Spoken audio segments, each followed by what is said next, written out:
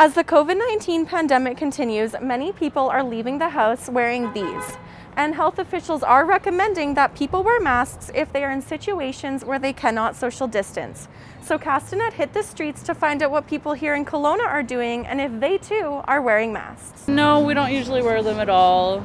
No, we're not worried about it. I don't know. If you get COVID, you're gonna get it. I don't think it's We're- really something yeah, you can avoid. It, it might be a little selfish because we're young and like we're being that, but but we don't like put ourselves at risk too often. We don't hang out with friends very often. Sometimes when I don't even need one, I'll, I'll wear it just because it should probably become our norm.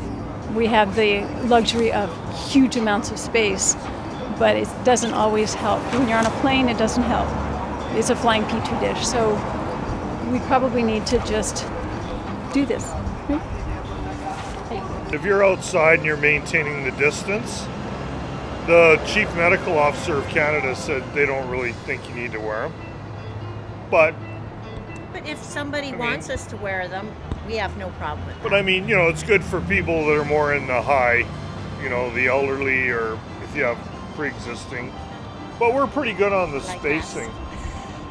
Yeah, I don't think I'm old, but will be mandated to wear them when I go back to work on the second, but other than that, no, not really.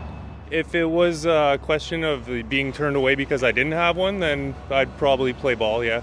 Yes, I do. I wear them all the time when I'm in the store for sure. Is that just because you're close to people? Well, I just don't want to spread it to other people, and uh, why not? It doesn't hurt anybody. It's only for five, you know, half an hour maybe. So I don't wear it when I'm on a walk, obviously, if I'm, but I'm going to be social distancing when I'm out on my walks, or if I'm can't, then that's when I put the mask on.